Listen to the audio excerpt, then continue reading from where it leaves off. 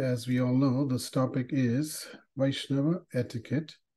And I will call upon names also in between to read some things. So it's such an important topic. Here we see this picture of how Krishna himself is showing by his own example on how he's treating or welcoming and giving mark of respect to his own dear friend, Sudama Brahmin, Vipra, Vipra Sudama. So we can see that this this this is one of the most most important topics, um, and hence I request that all of you please give your kind attention for your own benefit, and if you need to take a few minutes, uh, if you come on the screen, it'll be very much be appreciated. So we'll go to the next uh, slide. So the six-part session of Vaishnava etiquette is basically taken, broken down into uh, six sessions, broken down into three devotees who will be speaking. First one and the second one by will be done by myself, which is today and next Wednesday. And the topics of this will be part one will be brief introduction and the essence of Vaishnava etiquette, and part two will be etiquette within the temple and other etiquettes, etiquettes around prasadam and kitchen.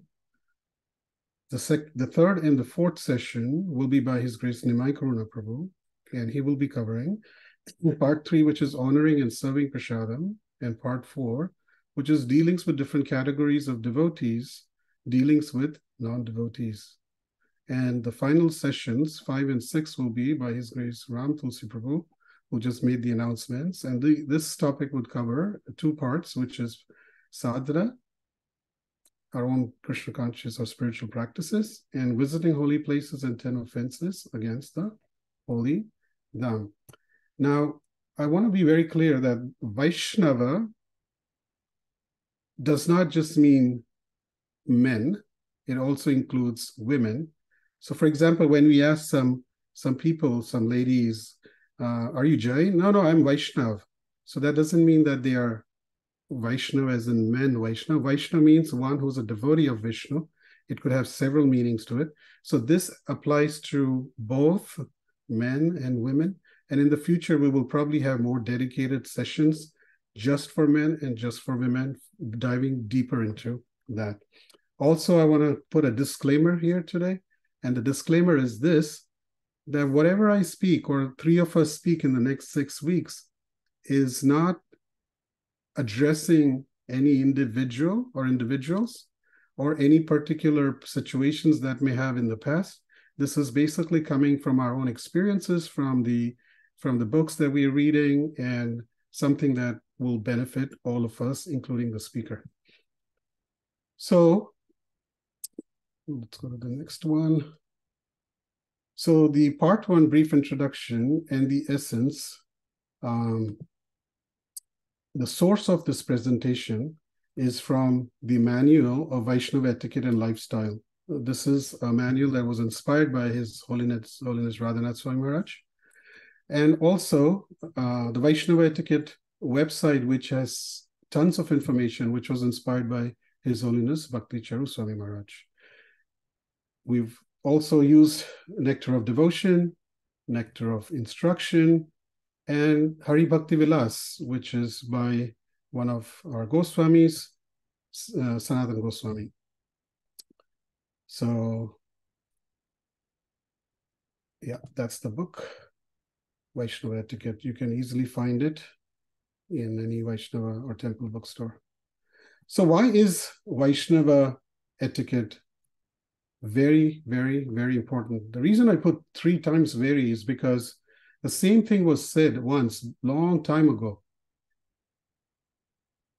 Kalo nastyaiva nastyaiva nastyaiva gatiranyatha. In this age of Kali Yuga, there is no other way, no other way, no other way but singing the holy names of the Supreme Lord Hari that can deliver one from this material situation, material body. There's no other way was said three times. So here also I, I said in the same mood three times that this Vaishnava etiquette is very important in our own uh, journey of spiritual growth. Lord Chaitanya said that if you want to develop love for Godhead, you must know Vaishnava etiquette how to behave with Vaishnavas. That is more important. If we don't know how to deal with deal properly with Vaishnavas, then we commit offenses and eventually we won't be able to go very close to Krishna. So it is very important to know how to deal with, behave with each other properly and respectfully. This was from a class uh, from by His Holiness Jayapataka Swami Maharaj, who was one of our senior sannyasis. And he also said, if you're going to save a Vaishnava who's been attacked by a beast or wild animal, and in that, if you die trying to save that devotee, then you go back to Godhead. The devotees are so dear that they are worth dying for. Now think about it. So if somebody's worth dying for, then why would we offend or deal improperly improperly with such a devotee? This was such a powerful statement that I wanted to put as, as one of my first slides. That these are the people who we depend on to deliver us at the final hour. And those are the people we have to deal with them with extra caution and attention. There's another, the foundation so the, the foundation of Krishna consciousness is also mentioned in Chaitanya Charitamrita. Vaishnava etiquette or the whole Vaishnava culture is founded on this principle. May I ask Raktak Prabhu to please read this paragraph? Yes, Guruji. The foundation Vaishnava etiquette of the whole Vaishnava culture is founded on this principle. A Vaishnava should be tolerant like a tree and submissive like grass. Nevertheless, the author of this instruction, Chaitanya Mahaprabhu, did not tolerate the misbehavior of Jagai and Madai. When they harassed Nityananda Prabhu, he immediately became angry and wanted to kill them.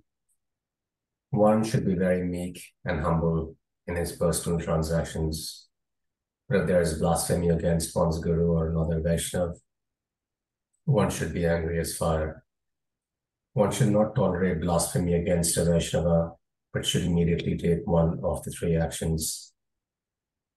If one, if someone blasphemes a Vaishnava, one should stop him with higher arguments and higher reason. If one is not expert enough to do this, he should give up his life on the spot. And if he cannot do this, he must go away but we should never listen to blasphemy against a Vaishnava. Thank you very much. Many times devotees get confused, and in the name of Vaishnava etiquette, in the name of I don't want to commit aparadh, in the name of uh, this is you know I don't want to say anything, I just want to be neutral. Devotees end up committing mistakes. For this specific scenario, where Mahaprabhu in this Chaitanya Charitamrita is mentioned, that yes, ideally a devotee should always be humble, meek, do not get into arguments, quarrels, debates. But that's on us. If somebody is is is, is pointing finger at you or, or, or doing something to you, and this reminds me of an example. One of my my Siksha gurus told me in the early days that he was in New York City in the subway. They were distributing books and also doing Harinam together. And one person came, and as my Siksha guru was uh, His Grace Subal Prabhu, I remember this very well. He told me this in, in the early 90s that while he was just there, he was playing some instrument. This one guy came and stood in front of the book table in front of this devotee. He kept staring at him, and then, uh, and then he spit on him or he did something to hurt that devotee. As soon as that happened, another devotee pounced on him. Now, this devotee who pounced on him generally is like a cow. He's very calm and composed and peaceful. But when this happened, he didn't think twice. It was his instinct that how dare you attack a devotee? So we have to understand, we have to become smart, we have to become intelligent, we have to use knowledge, we have to use Shastra, we have to use our, our senior devotees' inputs, not just whimsically think, I think I should not do in this situation or in another situation. What generally happens is when somebody says something to me, I get angry. But when somebody says something to another devotee which is wrong, I walk away or I don't want to say anything. It should actually be the other way around. If somebody says or insults me, tarora that is the foundation. But it turns out another way. So if we just try to transform that, instead of focusing on myself, that I try to focus on other devotees. Then we'll see how much more progress we make and how much more Krishna becomes also more pleased with us in our behavior. So there are different etiquettes according to time, place, and circumstances also. Next slide.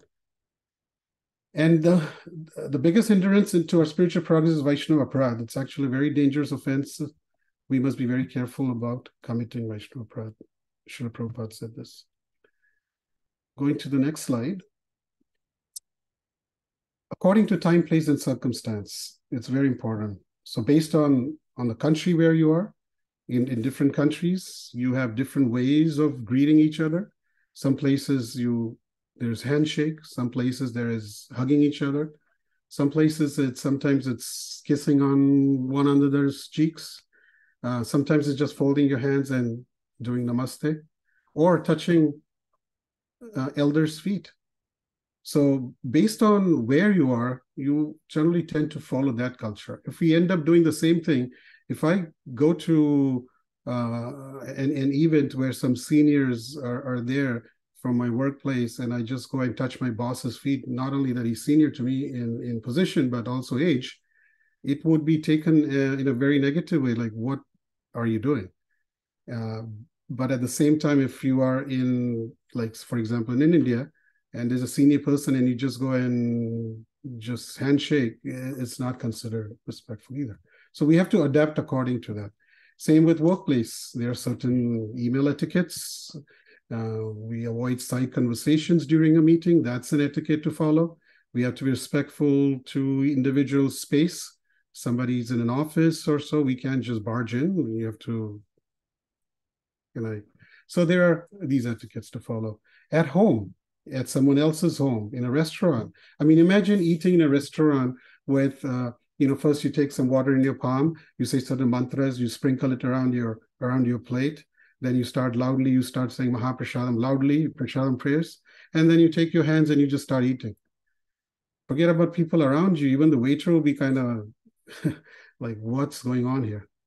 And when you're at home uh, you have different etiquettes. You are not relaxed. You're you just you know putting your napkin in here and your spoon and fork and proper position and that's where you so according to place and situation you have to adapt. Your title your position uh, reminds me of where um, once uh, a mother brought came to uh, a guru a, a, saintly person says can you please tell my son to to stop eating uh, spicy food?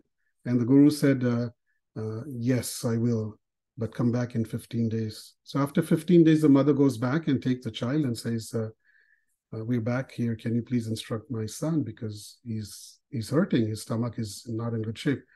So the guru says, son, you should stop eating spices. And after that, the mother goes to him separately and says, So if you had to say just this much, why didn't you tell that 15 days ago? And the guru said that, well, that's because uh, I myself had to stop first. So I had to practice what I'm preaching. And that's very important in Vaishnava etiquette or achar and sadachar. What is my own practices and am I preaching what I'm practicing? According to different situations and norms, that is also very important. There's another beautiful story around this too that sometimes people are very much like, you know, I should, this is a standard and, and this is a norm, this is the etiquette that should be followed in every situation. It doesn't work like that. One time, when Sri Chaitanya Mahaprabhu was in Jagannath Puri in Gambhira, where he spent a lot of time, a small dark room, and Mahaprabhu was completely tired from uh, doing kirtan all day long. And he just entered, and right by the entrance, blocking the entrance, he just laid down and he fell asleep. And at that time, his personal servant, Govinda, came to massage him. And when he saw Mahaprabhu laying down, he just couldn't enter the, the room. And uh, so what he did was he took a piece of uh, a cloth and he covered Mahaprabhu with that, and he crossed over Mahaprabhu, and he went inside. He stepped over him. It's not a it's not an etiquette to step over anybody, any living entity, because the Lord, Supreme Lord, as Paramatma resides. So it, one should always avoid, should not do that, otherwise one will commit aparadh to that person. So after a while, Mahaprabhu woke up and he saw that uh, Govinda is doing massage.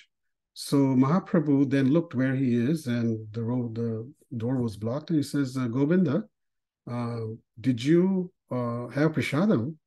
And Govinda said, uh, "No, Mahaprabhu, not yet." He said, "How can I, you know, how can I go? You are you're blocking the road." So Mahaprabhu said, "Well, how did you get inside?" He says, Well, Mahaprabhu, I, I came inside, I crossed over you. And so he says, Well, then the same way you could have crossed over me and gone back and had prashadam. And Govinda gave such a thoughtful answer. He said, Mahaprabhu, I crossed over you for, for your own benefit, to do massage to you. So I, I, I crossed over you. Now, to have prashadam, that was for, for my own benefit. And I did not want to cross that boundary. Hence, I'm sitting here waiting for you to wake up. You see how beautifully Govinda, in dire situation, it's, it's been hours and hours he hasn't eaten, but he still maintained respect to this etiquette. Same way, there are many instances how Mahaprabhu also, although from the Brahma, Madhava, Gaudiya Sampradaya, Sri Chaitanya Mahaprabhu took sannyas from Shankaracharya Sampradaya under Keshava Bharati. Because at that time, the Shankaracharya or Shankarites, the sannyasis, there were so many of them, and it was considered in society that if you are a Shankarite sannyasi, then you have value. So he didn't hesitate from taking, even Mahaprabhu, who's Krishna himself, didn't even need to take sannyas or even wear saffron robes. But just because if you're in saffron robes, he knew that it's going to be easy to preach, he took that position just charging my my laptop. Um, and same way with when Mahaprabhu met King Prataprudra, he could have easily asked uh, that, please, uh, King, uh, allow, break the rules and allow Haridas Thakur to enter the Jagannath temple. Haridas Thakur, who was Muslim by birth, was not allowed to enter Jagannath Puri temple to see Lord Jagannath. And at the instruction of Mahaprabhu, it could have been arranged. But Mahaprabhu followed the social norms of the society and says, well, that's what it is. That's what it'll be. I'm not going to make a special request. So, and then again, spiritual organization. Uh, we have to understand that we are not individual Vaishnavas. We belong to a society, a society which we call International Society for Krishna Consciousness. So whatever etiquettes we follow, our acharan will be measured by people outside and within. So there are etiquettes to be followed within the organization, and then etiquettes to be followed outside the uh, organization. For example, there was uh, there, there was one person with a very bad experience uh, staying with somebody, another devotee from another organization. And he says, I will never go to their temple. So why? Because because you know what? I was a tenant at their house. And the way this person sucked my blood, the way this person treated me, and he was a devotee from this organization. That one person put such an impression on this person that I knew that he n- never wanted to do anything with that that person. On the other hand, I remember going to one place for preaching, and I approached this business and I said, listen, you know, I want to set up some books and do some Harinam with our group outside your business. Can we do it? I said, yes, absolutely. I don't know this person. But he said, you know what? I had such a wonderful experience with one of the Hare Krishna devotee. You guys can do whatever you need.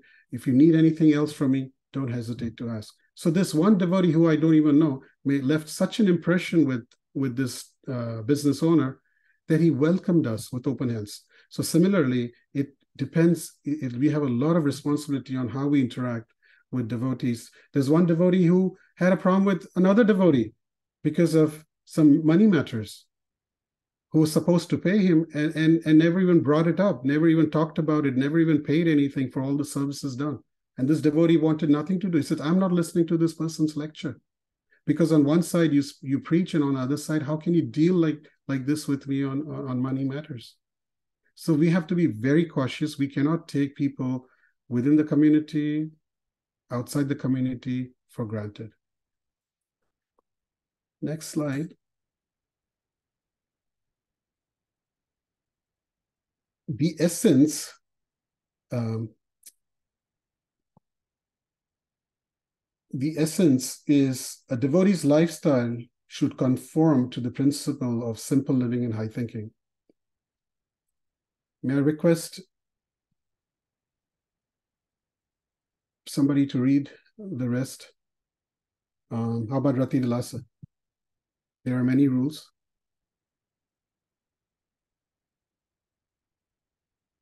Um,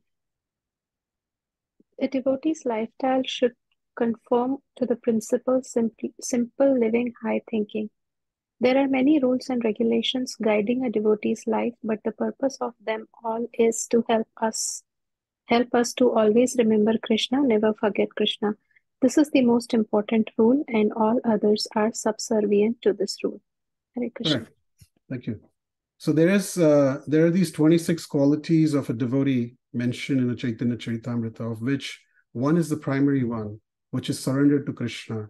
Always remember Krishna.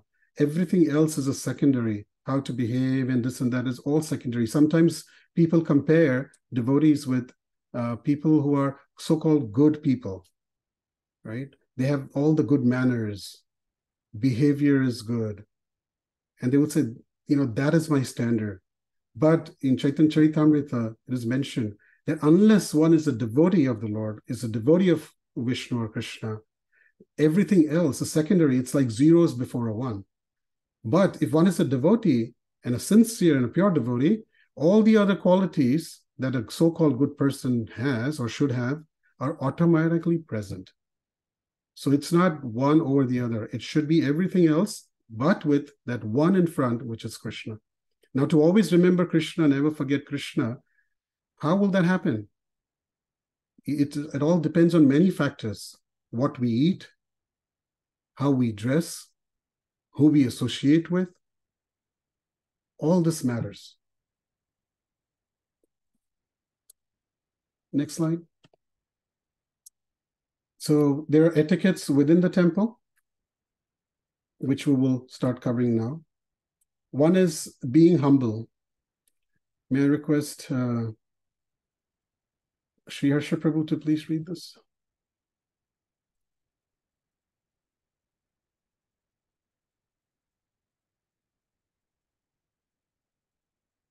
How about Somya?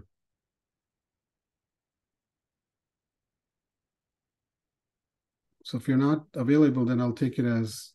Sure, sure, Prabhuji. Sorry, I was muted. Go ahead. Um, in the old days, kings would travel in palanquins. One regulative principle is that one should never enter a temple in a palanquin or a car with shoes on. The idea is one the idea is that one should give up one's kingly mentality in wait, mentality the Got it. mentality of being the lord and master whatever be one's qualifications abilities and social position amongst the devotees particularly in temple one's only destination is servant of the servant That is a designation, servant of the servant Dasanudas. So I remember reading this manual many, many, many years ago. And I actually, when I entered an ISKCON temple, I really saw that, that people really didn't care so much about who you are, what you do.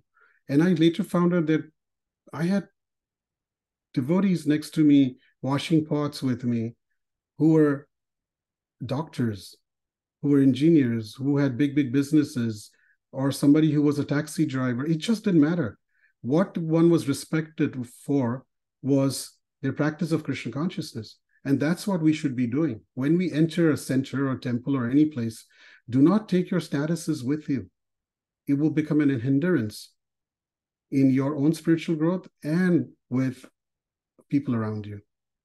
Because as soon as I have a title and somebody says something to me, I want to show them who I am. But if we always remember that here I am in Srila Prabhupada's, uh, for example, we are all here ISKCON, um, re- I'm representing ISKCON, so I'll speak about Prabhupada, that I'm representing Srila Prabhupada. I'm his servant. This is his house. So I leave all my titles outside. We may use that sometimes just to introduce with each other, to connect with each other, but otherwise we should always go in a humble mood. A tree that bears nice, beautiful, strong fruits will always bend, you know, like you have mangoes and, and oranges and all, it always bends down. The higher you go, the higher titles you have, the more money you have by Krishna's mercy, beauty, knowledge, fame, any of those qualities that you may have, we must become more and more humble. Otherwise, it will always become dangerous for us. So that is one quality that we must always try, endeavor to have on a consistent basis. Next is offering obeisances. Now we'll go through some of the practical things that needs to be done. This is will be helpful as a reminder, refresher, and also for those uh, who are new. So upon entering the temple, one should first offer obeisances. Maybe I can have uh, Ashish Prabhu. Can you read this, please? Yes, Prabhu. Oh, Uh, all right. one, Prabhu, is that me? Yeah. Okay. Vancha kalpatarubhyasya kripa sindhu evacha patitanam pavanebhyo vaishnavebhyo namo nam. I offer my respectful obeisances unto this Vaishnava devotee of the Lord. They are just like desired trees and can fulfill the desires of everyone, and they are full of compassion for the fallen conditioned souls. Continue. Continue. Okay. Then one should offer obeisances, full for the man and half for the women, to Srila Prabhupada, keeping him on the, our left and chant his pranati mantra, Nama Om Vishnu Padaya. One should then move towards the deity and offer full prostrated obeisances, keeping the deity on our left side and chant their respective pranam mantras. Yeah. So this is as soon as you enter the temple room, right? First and foremost, wherever we are, we should bow down and offer prayers to all the assembled Vaishnavas. Very important. Yeah. Then you go to Srila Prabhupada, keeping him to your left. Then you go to the deities, keeping them to your left, and offer the prayers mentioned here. If you want to know more details on this Namo Vishnu Padaya prayers, then you can reach out to me or any of the devotees and they can tell you. So that is the standard. Now that means I have to go stand up and bend down three times. Sure. as long as we have that strength, do it now. When we get old, we'll regret why didn't I do it? And anyways, in our prayers, Samsarada also we say that Yashastri Sandhyam, Vande Guru Sri Charanarvindam. Three times one must offer obeisances to the spiritual master and the Supreme Lord. So it's okay, it's a good exercise. So please try to do that. Next. Meditation upon the deity. So now we've offered obeisances and we're going to be looking at the Supreme Lord. Dipali, can you read this, please?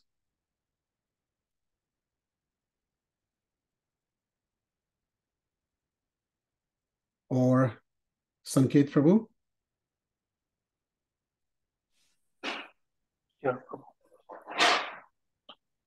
After offering obeisances to the deities, one should take darshana with great devotion and beg for their mercy. One should not, however, immediately look upon the deities fully in the face. The proper manner in which one should take darshana of the Lord is described in the Srimad Bhagavatam 2.2.13.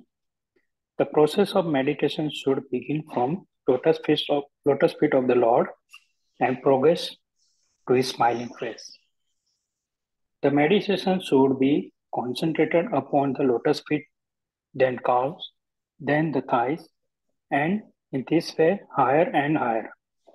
The more the mind becomes fixed on different parts of the limbs, one after another, the more the intelligence becomes purified. Srila Prabhupada explains in the purport that such meditation will help us get detached from sense gratification. The mode of the devotee taking darshana is, Sir, I am your eternal servant. Please let me know how can I serve you. The function of the big deities in the tem- temples are for giving darshana and usually are the Ishtadev, Ishtadevs of the Sampradaya. So it is quite natural and respectful to see them first. There are also other considerations as if there are three altars like the Krishna Balram Mandir in Vrindavan, Srila Prabhupada would pay obeisances first at Gaur Nitai's altar, then go to Krishna Balram's altar, and then to Sri Sri Radha Shyam Sundar. While taking darshana, one may stand at the sides so that darshana is not obstructed from the other devotees who are sitting. The darshan should begin as we face the deities from the left hand corner and move progressively, deity by deity, right hand corner Yeah. to the right hand corner. So very important that once you're done with your obeisances, when you're coming in front of the deities, just, just don't look straight at the eyes of the deities on the face, or the jewelry he's wearing, the dress he's wearing, the flowers they're putting on, and start, you know, generally finding faults. Uh, oh, the pujari has not placed this properly, hasn't put the durban right. No, first start with your prayers. Start with your with the feet up, as Srimad Bhagavatam explains. Then, if you are you have those eyes to find that beauty in the Lord and you see certain mistakes here and there, then you can see those things. But first, take your time and pay obeisances. Uh, pay, uh, take the, the proper way of darshan. Like, for example, in our center, when sometimes we come, the deities are still getting ready, right? They're behind uh, this divider and they're still getting ready. You're still inside, you've come in, you're doing all your other chores, set up, this, that. But once the screen is gone and the DTs are now ready and giving your darshan, their darshan, we should pause everything and bow down and offer our obeisances again and take nice darshan of the Lord. Okay, next slide talks about how to sit. Yeah, these are all one may think, and a lot of the points I've removed from here because when I was reading them, I was like scratching my head. Really, this is what people do that it has to be mentioned mentioned here. So a lot of the things points have been taken off, and some are common sense that we sometimes miss. So while sitting, uh, let's say Vijay Prabhu, can you read this? Yes, Prabhu. Uh, Hare Krishna. Thank you. While sitting, one should not expose one's feet to the deities or point them at the spiritual master, Tulsi Devi, etc. The feet should always be covered. One should, as far as possible, avoid sitting with one's back to the deities or the Vyasasana. However, the layout of the temple may at times restrict us in the following in uh, following us in following this principle. One should not spread one's legs before the deities. One should not sit before the deities holding one's ankles, elbows, or knees. Please see in illustration. One should avoid neck exercising, falling asleep while sitting before the deities. During class, we should avoid chanting, especially when sitting right in front of the speaker. Be conscious of your surrounding in a full room. Offer your seat to new people, elders, etc. Make space for others to sit. Hare Krishna. Yeah, so click, click on next. So we have uh, here, for example, here's some here's a picture of how not to sit with holding uh, your legs. That's the proper posture, and and also uh, this is a proper posture or, or on the chair. So it's it's important to again it goes back to us being conscious always remember krishna never forget krishna. So krishna is in front. How can i sit with my feet facing him or or the devotees? Uh, so uh, the other thing is that uh, you know when we are falling asleep and and sitting in the class especially sitting in right in front of of, of the speaker it's like uh, the speaker will start doubting their own class that you know my class is like like right now i don't know if everybody's awake or sleeping or or what at least i don't see closed eyes but if i did it would really demotivate me like oh my god like my i, I shouldn't be giving any lectures next time because people fall asleep in my class huh? And then uh, also chanting i've seen many times devotees make this mistake i was in one program where Jayadvaita maharaj was speaking and there was this one mataji was sitting in the front and she was chanting uh, not audibly but her fingers were moving. She's chanting in her mind, and she's also hearing the class. So she's doing two things at a time. So Maharaj paused and said, uh, Hare Krishna, Mataji. Either you can chant or listen to my class. She took the bead bag and put it aside. So that generally happens when uh, we have not finished our rounds and we don't have time. So we take this one hour of lecture as the best time because only one person is talking, and my mind will be so occupied that I don't even know when I finish my rounds. So let me finish my rounds at that time. That chant, chanting is not counted.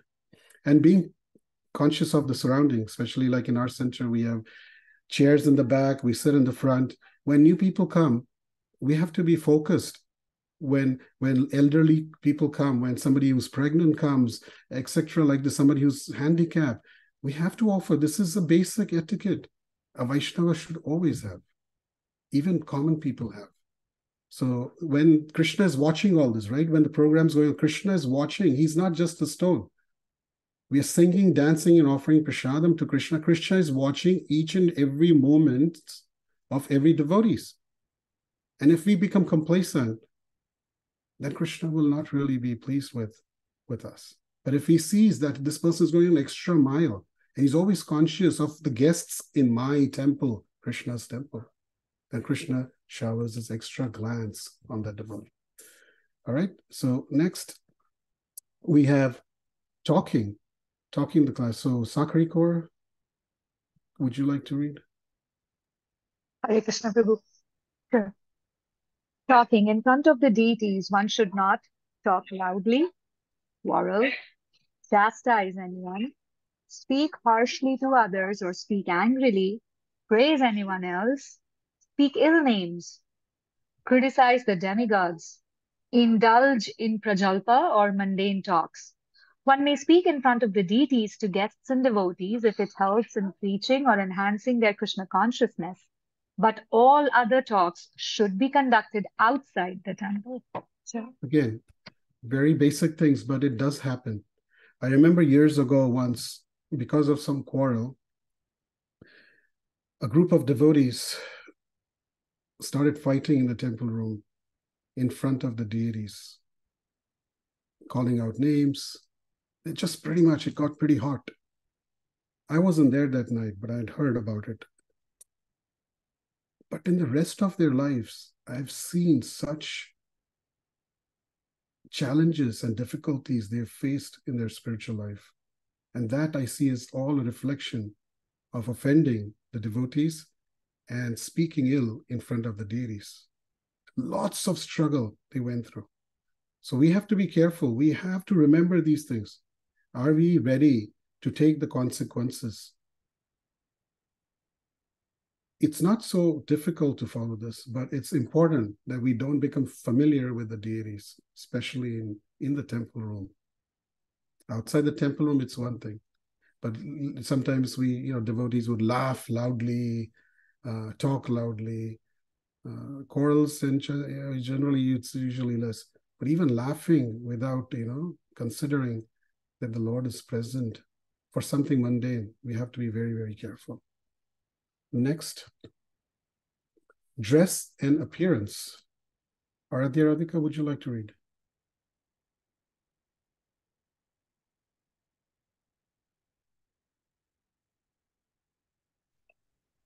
A devotee's clothing must be simple, clean, and distinctive as to remind people of Krishna. When coming to the temple, devotees should dress as follows. Men, dhoti and kurta, preferably white for grihastas. Women, saris, gopi dresses. For both men and women, clothing should be simple and not fashionable and opulent.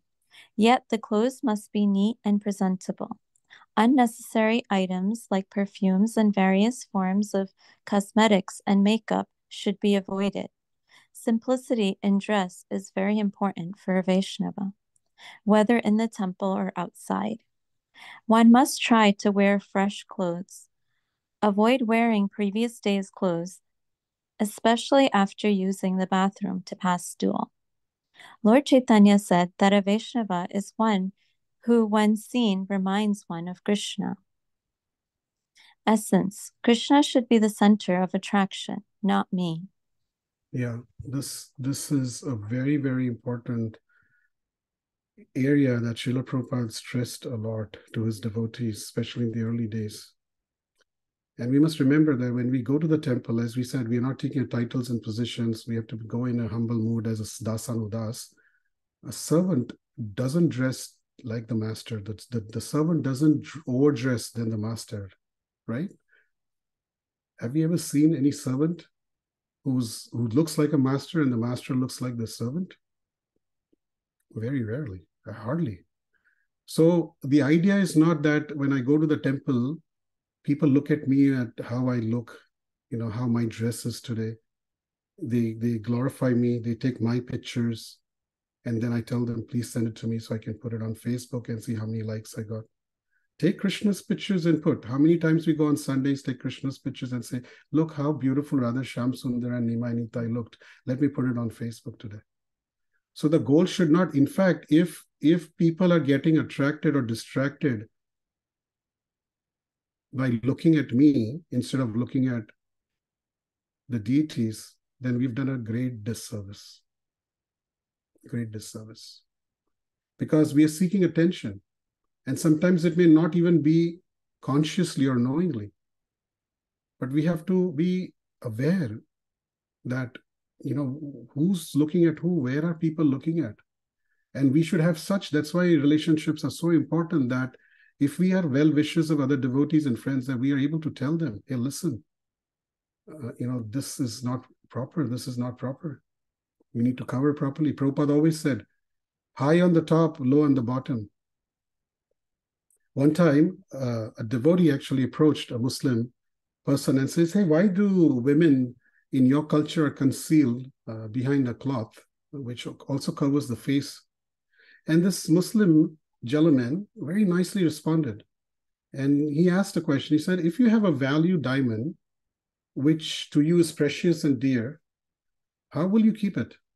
Will you store it in an old cardboard box in your backyard rubbish heap, uh, naturally you will protect it by putting it safely and securely in place where the untrustworthy can neither see it nor steal it. Then he said, We consider women very important to us. They are the personality behind a happy household and a family. We know that if they flaunt themselves in public, they will be misled, and then the foundation of our society will be ruined this exactly in line with how Vaishnava culture is. Unfortunately, in today's uh, days and times, uh, we've forgotten this. And again, this is exactly word to word taken from Vaishnava manual. And there's a lot more that I've removed. So if you feel that this is strong, this is nothing actually. So wearing Vaishnava attire, at least on Sundays, in clean dress, it pleases the Lord very much. It gives a different impression to ourselves. When you go shopping, you go to shopping to a very good, a rich, opulent store, and if you go dressed flimsy, you're not going to get much attention, isn't it? If you go to your workplace, a professional place, dressed in a very, very casual manner, you're not going to get so much mark of respect. So, according to time, place, circumstance, so our time and place in the temple means Vaishnava attire. Now, what does it take? It just, the problem is most of the time, it's not having proper planning. We, by the time we realize it's, I have to leave in the next 20 minutes for the temple and I don't have my clothes ready. One who's serious prepares their clothing in the morning hours, the days before, and keeps it very much, very nicely ready. So having a proper appearance is very important.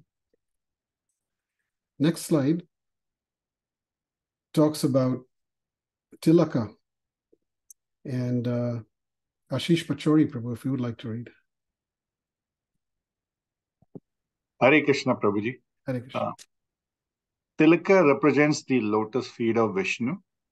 One should decorate the body with Vaishnava Tilaka at 12 places after taking a bath.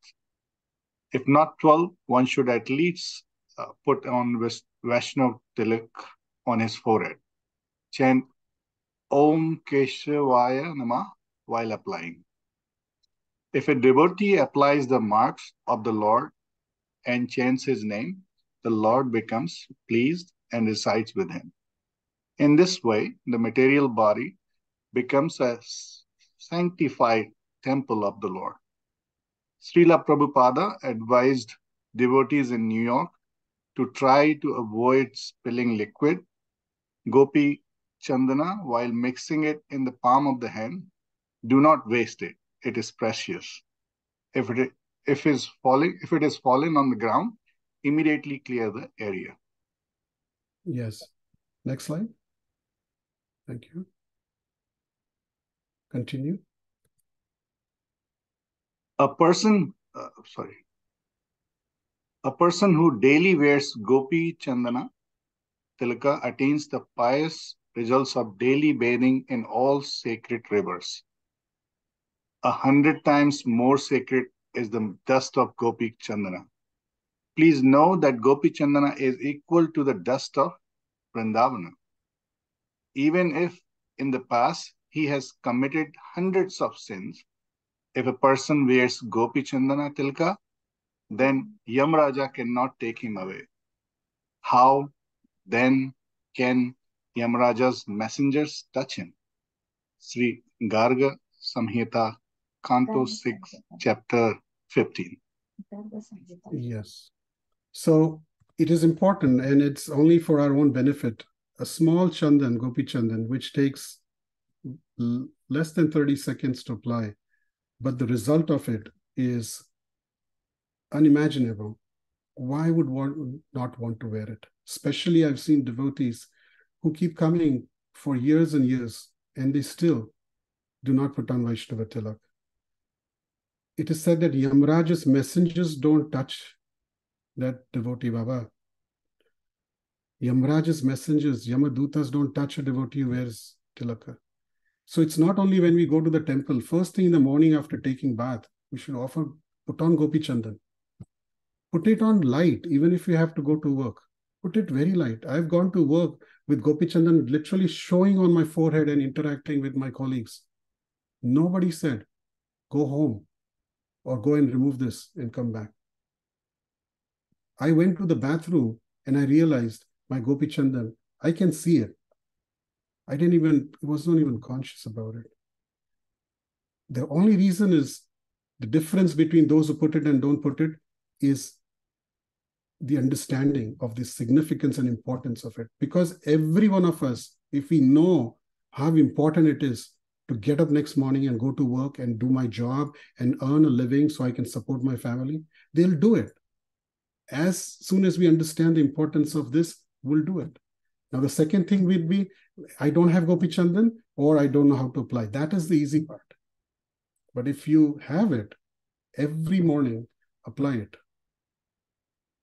Before going to bed, apply it. Most of you work from home, put it on, leave it. You don't have to keep, you know, as soon as it fades off, you don't have to go and put it again so that Yamaraj can see it.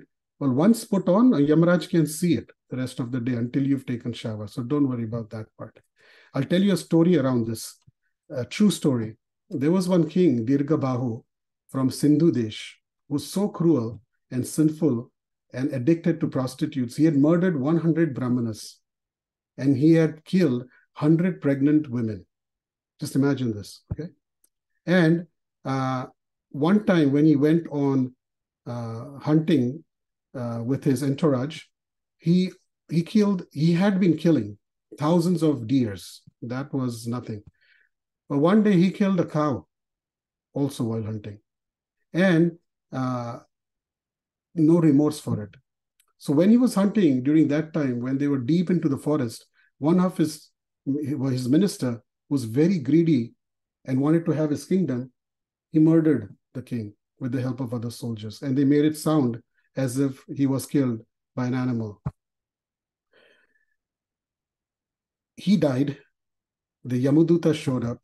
The Yamadutas picked him up, took him to Yamraj. Yamraj went to his minister and uh, Chitragupta, and uh, he said, uh, "Please check his records." And Chitragupta opened his file, and he says, "Oh my goodness, who have you brought here?"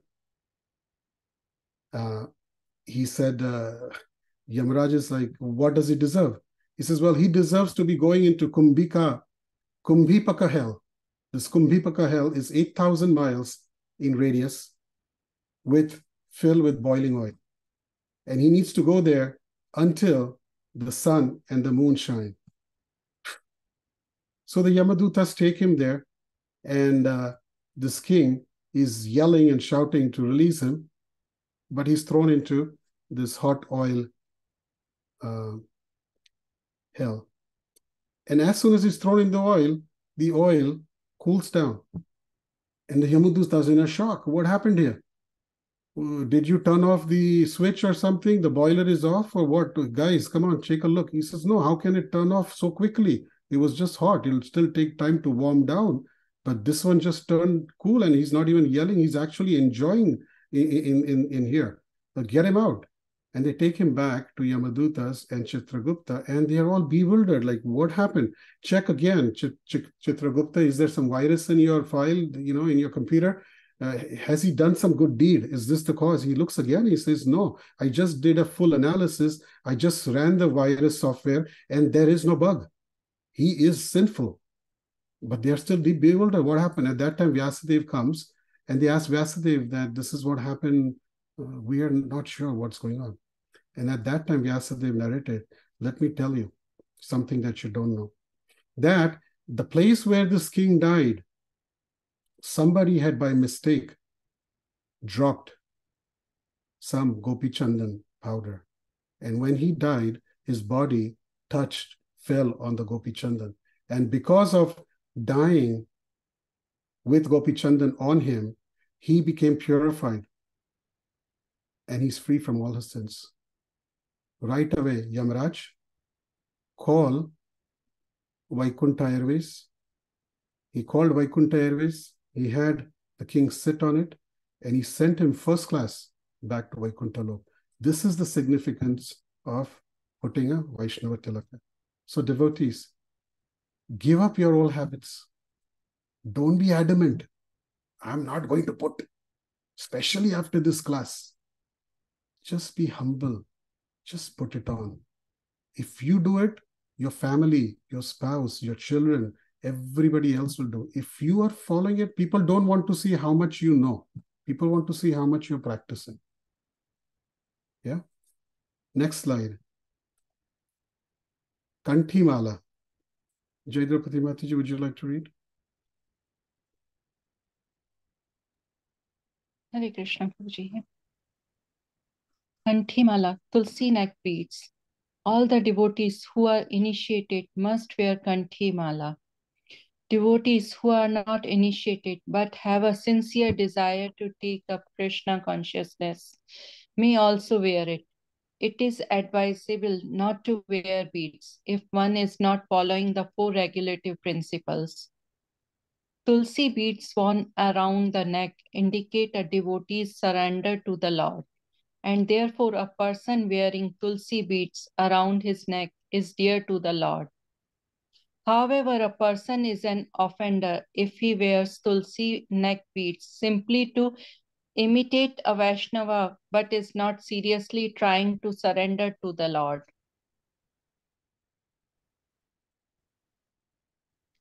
The neck bead, beads is worn permanently for the protect one, one from bad dreams, accidents, attacked by weapons, and, and the servants of Yamaraj. Upon seeing the Tulsi Mala, the Yamadutas flee like uh, leaves scattered by wind. Yeah, just see, just by seeing Tulsi Mala. So, so much significance. Somebody once told me that, you know, I get allergies. When I put on Tulsi Mala, I get some allergies. Okay, so don't put it like this. Don't tie it to your skin. Keep one round, keep it loose when there is no skin left yamadutas come they tear your skin away. Skinny nahi rahega to kya karenge so while the skin is there have it touched to your body. Put it on. Very important. Everyone should wear. Once one maharaj was asked this question maharaj uh, if somebody takes eggs or meat can they wear tulsi mala? Maharaj said one thing give me some praman give me some references where it says in the shastra that one should not wear tulsi mala if one is eating eggs or like that. So his answer was put it first. Once you respect Tulsi and you put it, automatically you'll start giving up. You would not want to let anything that is not dear to Krishna go through your throat. But if you keep waiting that one day I will stop eating and then I will, that one day will not come, one day Yamaraj will come. So before that happens, put it on. Not because always we don't need to do things because out of fear. Some things we need to do out of love for Krishna also. If you do everything to keep Yamadutas away, then Maya will find ways for you to remove it also. It could break and get loose, and Maya and Yamadutas will come and catch. But do it because your acharyas, because our acharyas are telling us to do it. Do it with love and respect. It is very easily available. It's not expensive. Many of us have wear, you know, diamond and gold stuff, which is so expensive to work for, work like crazy to even earn money and buy those. This is so easily available. Why hesitate? Put it on tomorrow. There is no, you know, later. Now start putting it. Don't feel shy. I used to feel like, you know, when I go to the office, I would like try my best to like almost cover like this, you know. I don't want anybody to see. No, forget it. The Jews come with their hat. The Muslims come with their their own. We can tell is Muslim. People come with tattoos of such kind. People come with haircuts where you feel like you know maybe the barber forgot to cut over here. Why feel afraid and shy of this? This is our dog tag. Put it on. Kantimala. This is Krishna protecting us, telling, reminding us. Whenever you feel something here, it reminds us of Krishna. Next slide. Cleanliness and hygiene. Gaurav Prabhu. Wear fresh clothes in the temple, nicely ironed clean the area after you have finished prasadam. If you see prasadam lying around on the floor, pick it up so no one steps on it. Do not touch anyone or any anything after honoring prasadam. Wash your hands with water after eating. Do not use the kitchen sink. One should take bath after passing stool and only then enter the temple hall. In situations where you cannot take a bath, avoid going into the temple room and touching any devotees or devotional items. One should not enter the temple after visiting a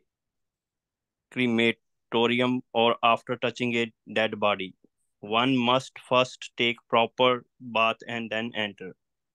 During their menstrual period, ladies may visit the temple, but they may not perform any item of deity worship like arti, dressing, cooking, garlands, or any other work that requires their presence in the deity room or kitchen, or any work that is directly connected to the deities, stitching their clothes, etc. Avoid physical contact with anyone who is or will be involved in the service of deities. Do not offer water to Tulsi Devi. under all circumstances, chanting on one's japa bead should continue. Yes. Cleanliness is next to godliness. Cleanliness is gone, it is one of the pillars of religion. So we have to be very, very careful about this. Um, especially in our setting, right? We take prashadam, and after prashadam is done, when we've used our hands, first thing, first and foremost thing of all services to go and wash our hands in the bathroom, not in the kitchen, because in our kitchen we we use utensils that are used to serve the deities. So we should never, because it's very close. It may be oh hi kar leta but every time we should go and wash it outside. Now one may see somebody go and wash, at that time also we should not make assumptions that this person just came from eating prasadam and washing maybe they were serving they were serving prasadam that's why they're washing there somebody may have just you know uh, got their hands dirty or something something else which doesn't necessarily require them if you've touched your fingers to your mouth right then one needs to go and wash but there may be other situations. So sometimes, you know, same rule doesn't apply. You know, somebody saw me washing hands, but actually, you know, what happened? I went into the closet while I was getting something out from the shelf, something sticky I touched. That's why I went to the bathroom, uh, to the kitchen. But somebody saw me and they says, "Hmm, he gave a class that day, but look at him. He's washing." But Baba, I didn't eat yet. I haven't eaten yet. So we should be very careful in making assumptions and coming to conclusions also. Um, and again, fresh clothes, very important. Again, like I said, planning is what it takes. Um, and uh, yes, after passing stool, it's very. This is this is people sometimes don't know, and I we see that uh, people want to serve prasadam. We want to engage many people in serving prasadam, even while preparing deity plates. Uh, in temples, uh, only pujaris are allowed in the altar kitchen. But because we are a preaching center, uh, that rule doesn't necessarily apply yet. But still, we have to be respectful and we should try and let the pujari or the cooking lead or the cooking team do all that because if we do any of these things knowingly or unknowingly we are going to take the aparadh on ourselves so we must avoid that sometimes i've seen where somebody's just smoked outside and comes in and they start helping with setting up prasadam or bhoga plates Are Baba, who's going to be getting the aparadh? Who's going to commit this? You know, it's you only. So do not get familiar with the deities, the devotees, and the process. If I'm not clean, I'm not clean, period. Get ourselves qualified to be in that position where we will be able to do this type of service. Then we can do it. But otherwise, these are very, specially pujari items, let the pujaris handle. The bhoga plates, let the pujaris. If they ask you, oh, can you please carry this for me? You carry. Otherwise, ask yourself, did I take a shower at home? Did I go to the gym in the morning? Did I go for a walk? Did I was I sweating and then I dressed up and came, I came here? Then we should avoid. But okay, I, I took a bath and I'm very clean, I'm very fresh. I have not touched the garbage cans here, nothing. Then we can do. It's okay. But generally wait for the pujaris to do that. I remember the, uh, once, twice it happened where I had to go to the toilet. I had to use the toilet, but I did not enter the temple room after that. How can I? Because people are going to come and greet me, welcome me. There's so many things I have to wrap up, touch. You don't want to do that. It was okay. Some people, key people knew why I'm not entering the temple and they respected that. And that's the setting we must have. Okay. So I'll pause here now. Uh, there were two more slides I wanted to cover, but it's also uh, getting late. So I'll pause here and see if anybody has any uh, question. And feel free to ask. There's no no foolish question here.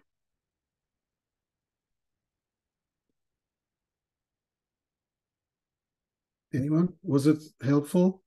Because we have a lot more that will get covered in the coming weeks. Prabhuji, I have a question. Um, you talked about uh, the order, right? Like of worshipping Radha Shyam Sundar last, and then Guru as second. So, uh, what's the importance of that order, or like why it has to be that way? Very good question. So, we are approaching the Lord through the spiritual master.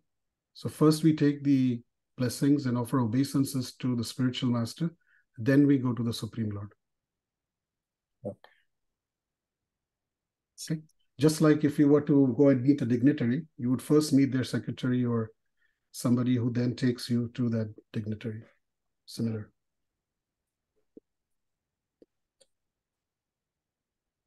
Anybody else?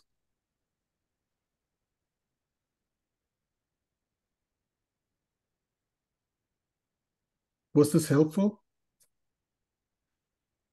Did you learn anything new? Anyone? Was very helpful, Prabhu pretty helpful. I came to know a few things that I was not aware of before. It was actually a mm-hmm. reminder for me as well. Yes, Prabhu, I was saying the same thing that it is definitely worth revisiting all these uh, rules and this and that. So, it, again, freshen up in our mind that we should be taking care of. If we're doing it anything, that we should be refrained from then on. Yes. And rule number one is that do unto others as others would want to do to you. So always think the person who can meditate on that as much as possible will will have Vaishnava etiquette or any other etiquettes under their under their arm because they're always thinking that you know if, if if I was in that situation I would not like that so why am I doing this to this person I would not like my child to be treated like this. So why I'm treating somebody else's child like that? I wouldn't want this to be done in my house. So why am I treating Prabhupada's house like this? Ashish Prabhu? Uh, Hare Krishna Prabhuji. So I have a question um, um, regarding how to um, actually uh, go in front of deities and pray, right? Mhm. there's a process go from left to right, right? And look it from the feet and go above from there on, right? Mm. But uh, one day when I was listening to the lectures, um, I don't remember the name of Prabhuji, um, he said that there are multiple ways we worship our uh, God, right? It could be as a parent, guru, or as a kid, right? Vatsalya Prem, right? So if, say, um, somebody is coming and having a Vatsalya Prem, um, would you still suggest the same process? Yeah, so so current we all are in in the dasya bhav, in the mood of a servant of a servant of servant. We may think we are in dasya bhav, or maybe let's say, for argument's sake, one may be treating uh, as as a child, one mother, you know, taking care of Gopalji. But yes, the certain norms are still like that. You know, unless one is that at that uttam adhikari level where child means what is Vatsalya Bhav, right? You're you're caring for the child all the time. Khaye nahi, piye nahi, soye nahi, kapde pehne nahi. If if one is genuinely doing that or not throughout the day, or is it just you know mere bal Gopal hai, mere bal Gopal hai? But bal Gopal hai, then there is a lot more that goes behind it too. But yes, generally still the process is still the same. Okay, thank you, okay yeah and this is more relevant to bigger temples. They're big big altars left middle and right. In our temple we in our center we have a very very tiny altar. In one shot only we can standing one place only we can take their darshan. Okay. Anyone else?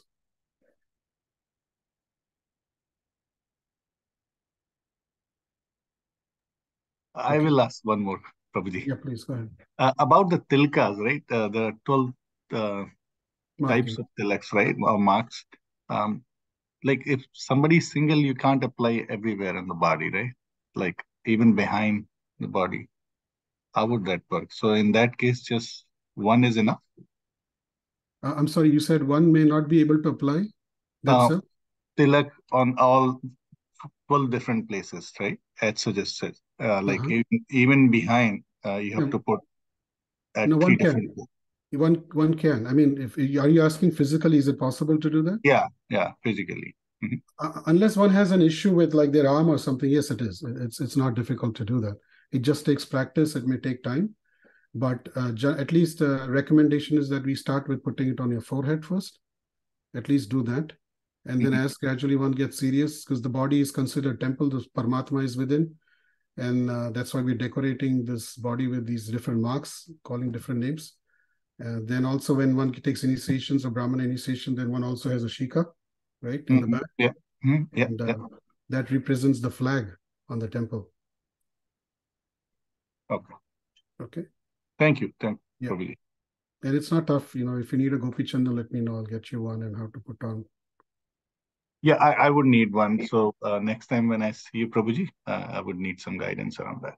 definitely anybody else Hare Krishna. My Hare name is Krishna. Meeta. I'm Yeah. I'm just new. So I have a question about the story when you were saying about uh, the Gopi Chandan, yes um, about that person who create, you know, who uh, did a lot of atrocities and uh, still got liberation. Hmm. So how is that justifying when how how a person who's who's create, you know, has done so many sins, but just touching the the Chandan uh, gets liberated? What is the what is the um, what is the significance of that what is the like how is that possible? yeah Like I think of it as, you know, when you're just when you're you know your bad karma your good karma you know you're how do you justify that he just i mean it's kind of like unfair i, I would i'm looking at it like that so how Right, do you Yeah. thank you So that for that one needs to understand the importance of Gopi Chandan. Very good point you made. Because if it was just, you know, if it was just some other powder, turmeric powder, which is very Ayurveda says turmeric powder heals, you know, so one touched turmeric powder and got liberated, you know, that doesn't happen. What is the significance? I would want to know what is the significance of turmeric powder. So Gopi Chandan is such that uh, when Krishna, one time, he had, uh, in a nutshell, Krishna had severe headache. Uh, that is the pastime. And uh, and and Narad Muni comes to me says, Krishna, what happened today? You look sad. You never sad. He said, I'm I have a severe headache. He Says, okay, well, how can this be relieved? Uh, do you need some prescription drug? Do you need what kind of you know? He says, no. Uh, you know, I think only a dust from a uh, feet of my devotee can take this off. So Narad Muni goes around. He sees meets many devotees of Krishna, including Lord Shiva, Lord Brahma, and many others, and all of them refuse to give him the dust from their feet. He Says, how can I give this to the, the Lord and Master? And then he lands up in Vrindavan, and Vrindavan, the gopis are there near the Yamuna. They are playing, they're they're swimming, they're dancing. And he says, hey, listen, you know, your Krishna is having a severe headache. And he said that if somebody gives my devotee gives dust from their lotus feet, I will take that in my head and that will solve my problem. And the gopis right away they start rolling and you know taking dust from their feet and filling up uh, Narad Muni with full cart full of you know dust. And then uh, they say, Are you crazy? You are okay. I mean, you put this on the Lord's head, you know, you'll go to hell. He says, We don't care if we go to hell. But as long as our Lord, his headache is gone, we're ready to go to hell. So that that that mud from the river, from the Yamuna Ganges area, that was taken to Krishna and given. And Krishna was so pleased with the devotees, just like Yamaduta, Yamaraj, whose sister is Yam, Yamuna Devi. He's so pleased that on Bhai Beej, Bhai Beej Day, he says, I give you a boon, Yamuna, that any sinner, no matter what, if he comes and takes dip in your water on Bhai Beej Day, my Yamadutas will never see him. So the significance is so much, and it's not so easy. Try to understand, Mita. It's not so easy that you know I'm going to go and kill around, and then at the last I'm going to carry in my bag a, a gopi chandan. I'll just put it ta-da-da, liberated. It's not going to happen. This is by chance it happened, and, and because of such significance it is that we it is for us to understand that the importance is so much but if we knowingly do it, like you know, if I kill somebody and I put it, it will not have an effect because the intentions were different. Okay. oh okay yeah that makes sense actually Yes, absolutely. it's like uh, it's unknowingly is when It's it's un, it's unknowingly or knowingly, you know, keeping or on one realizing one one's mistake. I've done this mistake. Now I will not do this going forward, and then continues following the, the process or what the acharyas have said. Then also one will sarva dharman mam ekam sharanam vraja aham tvam sarva papebhyo mokshayishyami mazucha. Krishna promises this, but then we have to follow that instruction. thank you Prabhu Yeah. Anybody else? Okay. Thank you very much. And we will see you again next Wednesday, same time, 8.30. Hare Krishna. Hare Krishna. Thank you, Ramzan Prabhu. Again, as um, a very Krishna. important topic. So this Hare Sunday we have uh, Mahaprabhu Kirtan Prabhu speaking on this Sunday. So kindly um, everyone can join our temple program. Um, so we'll see you on Sunday in the temple. Hare Krishna. Hare Krishna. Hare Bye. Krishna. Jai Hare Krishna.